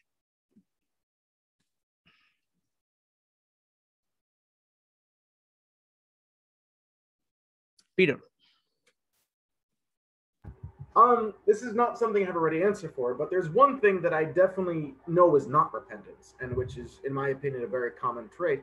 If you have a child to another child, you demand they say they're sorry. They go through this ritual of uh, of a fake grief because that's the expectation. So you go through this of uh, these empty motions. I mean, that are not based on feeling, or pretty much is like you instill them a feeling of shame, of self hatred, of guilt, because you know it's not that they understood exactly what they did was wrong, but that the you know my mother or father is angry with me now, and so that's what you have issue with. Oh, I'm a bad person because I did this, and it becomes an internalized complex instead of being able to look at the logic of, oh, you know, if I want people to share toys with me, I got to be able to share share it with them. You know, I feel that the example of the plane I mean, as we all have different ideas of what's fair, you know, what is owed to us versus, you know, what is of, uh, as we try to gamble, like, okay, how, what, what, what do I deserve? What do other people deserve? If someone slaps me, you know, should I uh, say, thank you, sir, may I have another? You know, or should I slap him back, walk away, whatever? I think we all have different senses of what justice is outside of compassion or mercy. And so, with that, to me, it's in reflection of justice within ourselves, not to necessarily find a truer form of it, but to better understand how and why we are judging. That we then get to more of a sense of our own sense of, well, I did that. Oh, I guess I don't really believe what I did was right, huh? You know, on reflection, not about someone else's reflection. You know, other we all have people around our lives telling us what's right or wrong from all different angles, and like we, you know, you can't agree with everyone, you can't please everyone. But what does it mean within our own sense of uh, a balance about you know how do we reflect and come to our natural conclusion at, at the very least in regards to our own intrinsic morality? It's like oh i don't that that that, that doesn't seem right. I'm not going to do that anymore. And what it means to perhaps then express like dude i'm i'm sorry i did that. I didn't really i'm not going to do that again excellent. Thank you. Thank you peter. Uh, that was very good. Uh, next up is vanessa joe david and madeline. Vanessa. Okay, for those that had questions dealing with the whole um act of it, like in the Roman Catholic Church, um, as far as for like confession, you first go to the priest, you know, you have your list of sins.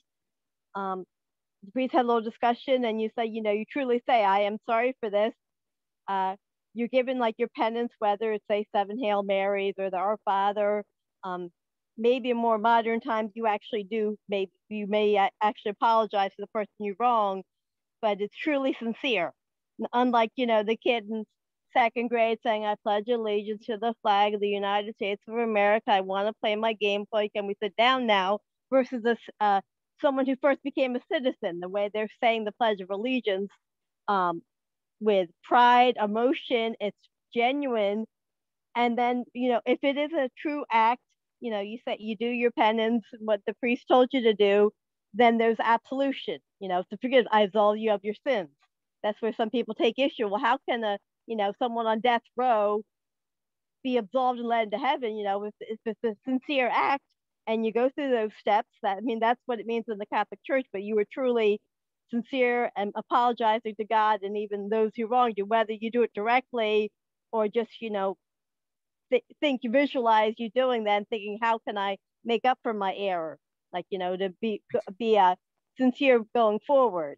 So like i said there's a ritual and the procedure within the catholic church but you know there's also what you do with your own self you know? You don't have to be uh, religious to do that. Like i said there's things you go with you know? You you you right your wrongs so there's you know every day and then there's the actual nitty gritty procedures thank you vanessa next up um, so what we are going to do is we're going to have quick answers to these and then we're going to ask the one last question to uh, doug about the artist because that was really fascinating thing. I don't want to let Doug go without that. Uh, so it's going to be Joe, David, and Madeline. Okay, uh, so really briefly, I mean, I think Peter kind of captured again what I was, I was, I'm going to try to say as well is that I, I look at this idea of um, repentance uh, and or even forgiveness is uh, that um, the that it's a limit on our knowledge as well as a limit on our will. In the sense that so that we don't know what the right thing to do in a particular situation. So we end up having to repent for that. And because we, we, don't necessarily know what the and as peter had already said we all have this idea of what justice is but it's not necessarily a full complete picture. So then we have this this gap we feel and that we feel the need to i don't repent and and i think that this is where and the, the church will say this is your lack of of your will to do the right thing, not the lack of your understanding. It's the lack of your will. And that's a big difference. And that's where that you're personally held now accountable for that. And that's where that idea of, in this particular instance, Catholic guilt kind of comes from is this, you know, that your your inability to to um, to act properly was based on you, not necessarily your inability to reason. And I think you know, again, I can come and relate it back to Stoicism in a way. Stoics have this belief that nobody actually acts knowingly, uh, it, you know, uh, it, against what they think is right. That that there's they're they're not necessarily they're they they just lack the knowledge as to how to what they're doing is incorrect. So it's an interesting it's an interesting way of looking at repentance because you know one looks at it from a lack of knowledge and the other one looks at it from the lack of the will. Thank you. Next up is David, followed by Madeline, and then we will ask Doug the question. David. Yeah, yeah I really like what, what Joe was saying. Uh, the are two sides. There's emotional and there's a rational side. And dealing with the rational side, which is what's being held up here, is you know one really important thing. That's where we act with our, our gauging and making our actions. Uh, but that's in a certain way. I agree with the Stoics. I agree with you know rationality sort of doesn't make mistakes. Uh, it's impossible to just solve it as a rational issue because you're always acting out of love. You're always doing something that you know on some positive motivation. So how are you messing up? Um, so it can't just be a rational solution. So there has to be an emotional angle on this, and and that's what uh, we're really being given, you know, an emotional washing in this process. That's kind of has to be it has to work, but it's sort of magical. We have to see the evil in the inferno. You're steeped in it. You're stinking of it. Your eyes are covered with it. It's physical immersion and discomfort and fear of the stuff that's wrong is sort of refreshing honesty because it's the direct reality of the evil. And then coming through purgatory, okay, you rinse off and you're trying to be good. You have your clean garments, you've been cleansed at the bottom of the mount of purgatory, and you see yourself as being marked with seven marks. And you know, you have to see yourself needing until you get it to get these things that are intrinsic in the misbehaviors and the mistakes and the mis, you know until you you get and empathize so going through each stage and understanding and encountering these flaws in human beings and empathizing with and hearing the flagellation of the, the angels and the songs the wrongness of the wrongs are declared and you see the prods of what balance you to, to do the good things, to do the right. You know, living through that and having him here de depicted as singing and voices of, of angels, it has to be tactile. So there's some emotional stage that has to there's, there's some patience. And that's why it's all this waiting. This is a long process of practicing change because what you're really trying to do is make the turning so that you're always looking in the right direction where the stars are going right? So that ritual the rituals are necessary all that work. You know somehow you have to see yourself plunged and and physically make it a physical process emotionally.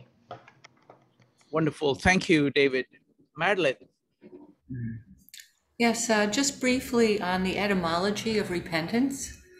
Uh, the Greek word in the Bible that gets translated into our word repentance uh, is actually metanoia.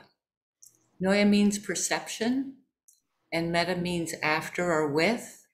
So it's really about a change in perception. It doesn't involve an action, it doesn't involve a will. The connotation is that after you've had this change in perception, then you change your behavior. But the the actual meaning of the word repentance as it's used in the Bible is uh, the sense of your perception of something changing. Thank you. Uh, thank you, Madeline. Great, great point. All right. So I've been dying to ask um, Doug this question, the question that uh, Maxine started out. I want to broaden it uh, a little bit. You you see that in Marilyn Monroe. You see that in Nietzsche. You see that in Beethoven going deaf when he's composing some of his, you know, great music. You see it in Dante's unrequited uh, love. And you see the great art at the same time. So, what is the connection, uh, Doug? What, what do you think is the relationship between the suffering of the artist and the greatness of the art? Well, I, I, think the question is more complicated in the United States than it is in some other countries where there's more respect for artists successful or not. And uh, here, if you make a lot of money, then art gains a lot of respect. And if you don't, uh, it doesn't. And, and then if you make a lot of money, it gains a certain disrespect from other artists. So there's a huge ambivalence here about the arts because we're a Puritan nation. We don't really like the arts. We don't trust beauty. The thing Michael Chekhov talked about that startled me and that so few academics talk about, although some great philosophers have talked about it, is beauty. Because beauty threatens everything. It'll topple religious figures, politicians, leaders, uh, one's own sense of, you know, propriety. I mean, beauty kind of defies everything. And I think Marilyn Monroe, uh, it was Billy Wilder who actually hated working with Marilyn Monroe, but she said he said there were two actors who really brought flesh to the screen, and one was Marilyn Monroe, and one was Clara Bow who was called the It Girl in the 20s and 30s. They had this phenomenal presence on camera. I don't think um, Marilyn Monroe was a great actor in the sense of what acting was defined as in 1950, which you know was stage acting to a great degree. But in 1950, I just watched The Asphalt Jungle, and it's the first time she actually plays the Marilyn Monroe character. And Louis Calhern is just obviously blown away by the character and by Marilyn Monroe. And he and you're seeing the old actor with the new actor and it's a it's a camera actor it's not a stage actor i don't know that she could have ever really acted on stage or, or brought the concentration that's needed for the role but i know a romanian director and he actually brainwashes actors to stop acting so they can work on film because the great stage actors out of juilliard they're actors and they use a big voice and, and the camera hates that and so there are actors like Sybil Thorndike who loved Marilyn Monroe in the same movie that Laurence Olivier couldn't stand her. And she wipes Laurence Olivier off the screen. It takes an actor like Clark Gable to share the screen with Marilyn Monroe or Yves Montand to share the screen. Eli Wallach in that truck scene in The Misfits, one of her last movies, he looks totally incompetent as an actor next to her. And she's a wonderful, he's a wonderful actor. But that kind of beauty kind of destroyed her. And uh, and and I didn't think I, this is something I've come to in the last ten or twenty years as I've rewatched her films, because when I was younger, it was like that's Marilyn Monroe, that's not acting, that's Marilyn Monroe. But when you watch her movies now, it's phenomenal her presence on screen compared to any other actor she's working with. And a few people like Clark Gable or some of the actors who own the kind of acting they do can share the screen with her. But Laurence Olivier was clearly terrified, angered, infuriated by her. And that leads to a kind of madness. And the thing about the madness I want to talk about, Frances Yates talked about there are two kinds of melancholy.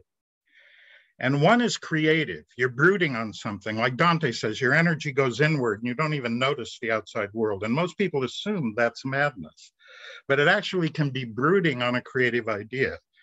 There are other forms of melancholy, which the Elizabethans understood these two kinds of melancholy. The other kind of melancholy will destroy you, will just take you out of this world. And I think other cultures historically have understood that better than the American culture that is terrified by melancholy, but doesn't really understand what it is and what it does.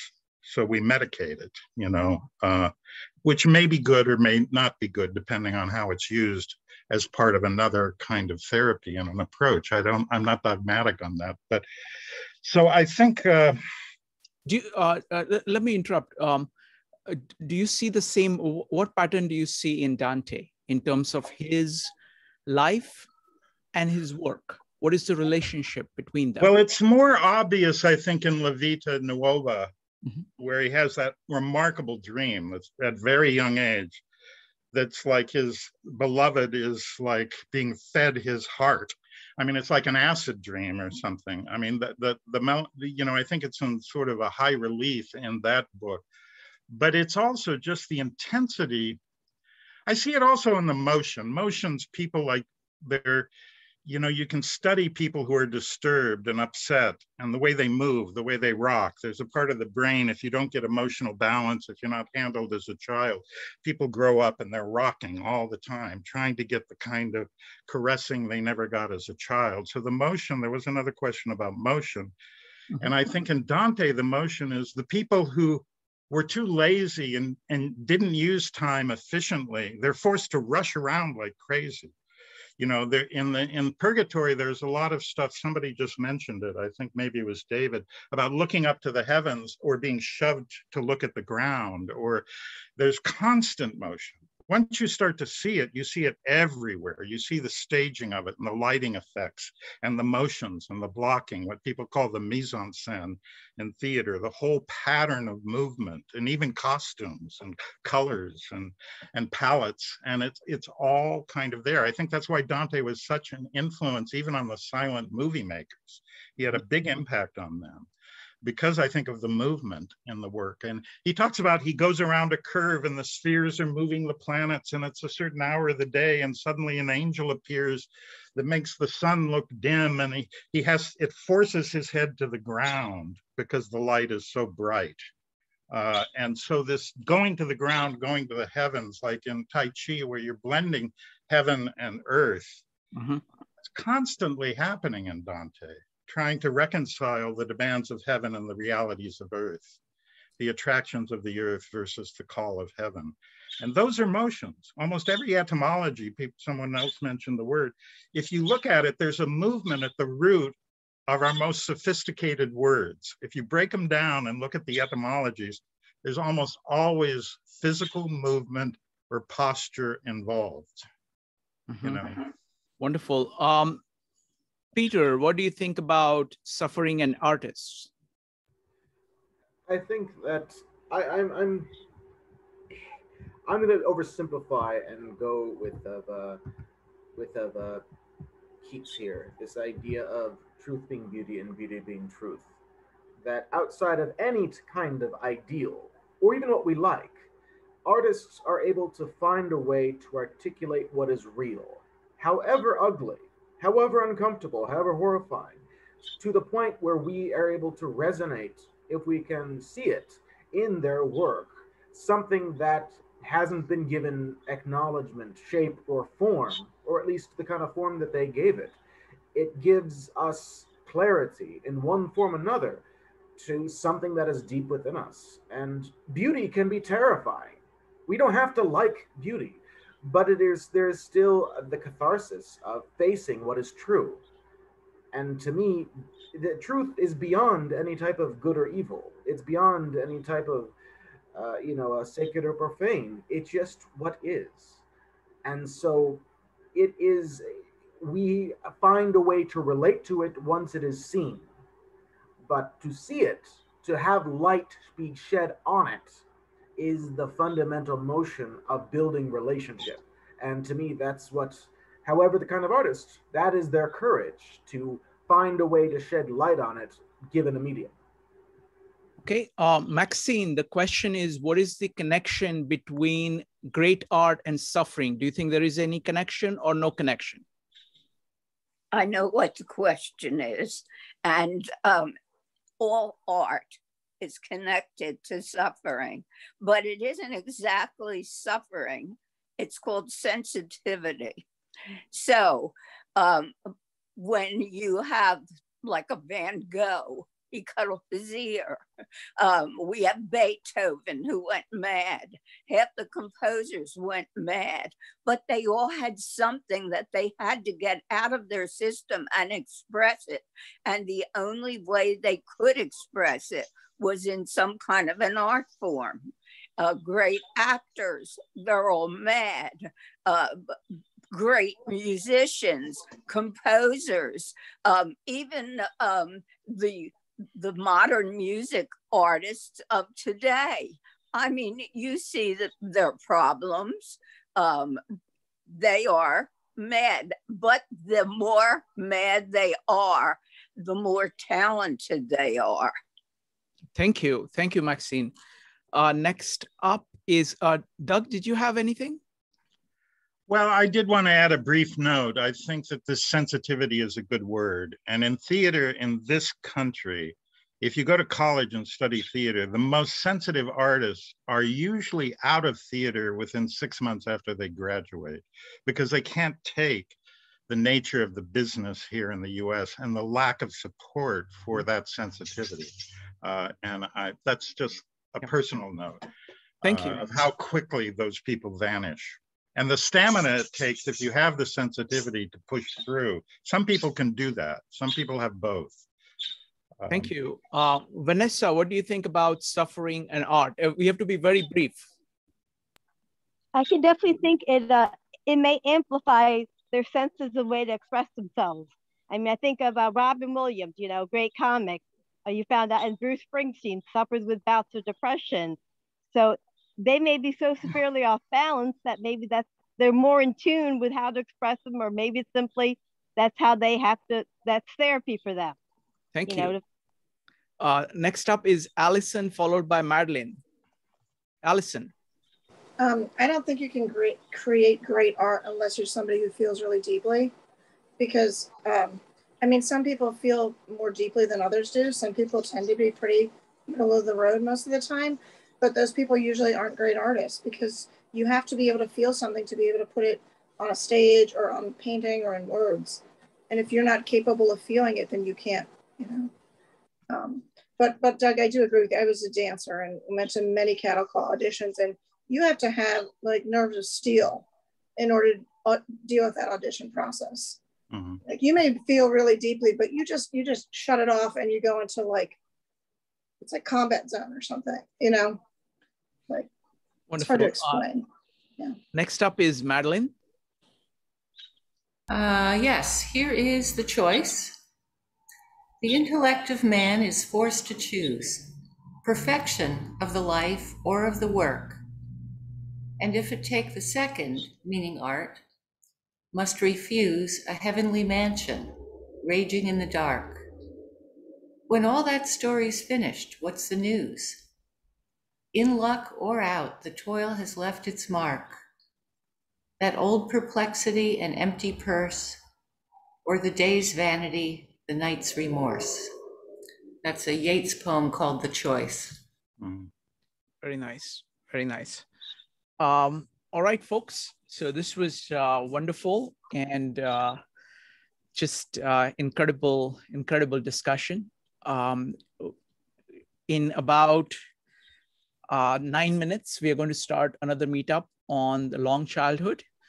Um, basically, it is about the idea of what sets human beings apart and the role of curiosity, role of remaining kind of open to the world throughout your life. Um, and Dr. Bronowski is one of the biggest, one of the best, and the most, he's done the most eloquent statement about that. Uh, even if you have not uh, watched the video, um, I'm going to be just talking about all the themes, and there are going to be many, many people who have watched the video who will be commenting as well. So I invite you to stay.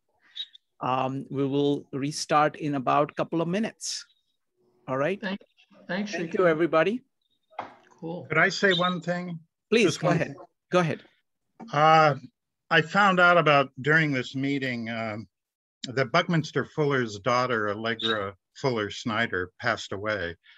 Uh, tomorrow, actually, is her father's birthday. And she was a dancer and she headed the UCLA dance department for 25 years. And we've been talking about movement and dance. And uh, she was an incredible presence who really personified love and movement uh, in her life. And I just sort of wanted to mention that. Wonderful. Thank you. Uh, thank you, Doug. All right, folks.